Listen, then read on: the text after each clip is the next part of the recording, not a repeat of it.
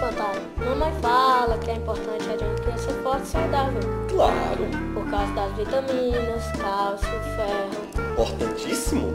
Até minha professora fala que vitamina A é bom pra isso, B é bom pra aquilo. É bom demais. Mas poderiam fazer vitaminas, cálcio, ferro de uma maneira mais gostosa e divertida, né? Fandangos! É bom demais.